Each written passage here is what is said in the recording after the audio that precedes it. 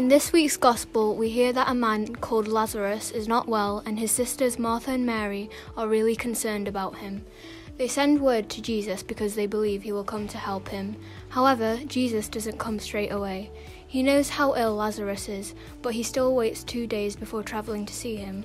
By this point, Lazarus has already been in his tomb for four days. Jesus knows exactly what's going to happen, and he is showing his obedience to God by waiting those extra days because he knows that through Lazarus' resurrection, God will be glorified.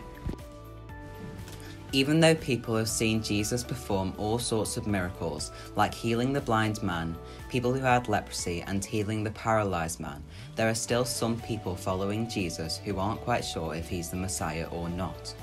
They still don't fully believe and they pressure Jesus to declare plainly that he is the Son of God that they've been waiting for, and that's exactly what he does. Jesus says, I am the resurrection and the life. If anyone believes in me, even though he dies, will live, and whoever lives and believes in me will never die. Through Lazarus' resurrection, Jesus shows us that he ultimately has power over death, and we should take hope. Jesus is foreshadowing his own death here and is also telling us that it's okay because he is going to rise again. This gospel invites us to believe more deeply in Jesus. Our faith tells us that those who are like Martha and Mary in their beliefs in Jesus, that he is the resurrection and the life, will find eternal life in heaven. There may be times in our lives where we have had to wait for something. We've had to show patience when things aren't given straight to us, and this is how we must respond to God. We must wait like Jesus did until the time is right.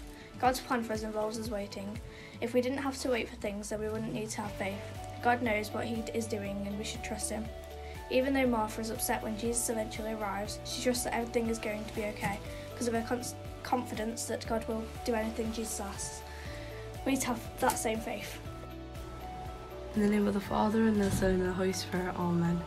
Good Lord, set me to be a strong and mighty pillar for your true church. I pray for all Christians and people of faith around the world who face persecution and discrimination.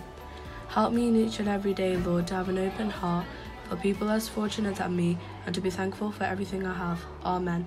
Saint John Fisher, pray for us. In the name of the Father, and the Son, and the Holy Spirit. Amen.